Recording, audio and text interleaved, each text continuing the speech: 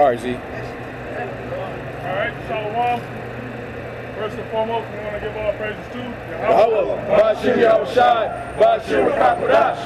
Yahweh is the most highest name in the world, and is called God. All right.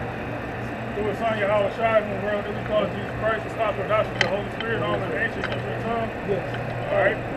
Double honors to the apostle, that is great millstone. Salute honors to brother out there preaching the word, sharing the truth. All right. We're out here uh, the other day. All right, to prophesy the downfall of this wicked ass place. All right, this wicked kingdom.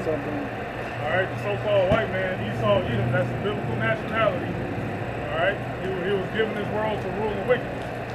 All right, and he was just given this world to rule in wickedness for a purpose. Uh, somebody give me uh, Psalm 17. All right, we're gonna tell you what the purpose. All right, of the so-called white man is. All right, because he plays the physical counterpart of the spiritual uh, demon Satan. All right, he, he, he, he, he's ruling this planet in pure wickedness. He's doing his job. He's doing he's doing his job that the Lord created him to do. All right, and a lot of our people, the so-called Negroes, Latinos, Native Americans, all right, you're gonna get it caught up in, in, in, into the wrath, all right, of the Lord, man. And the Lord gonna use Esau to inflict.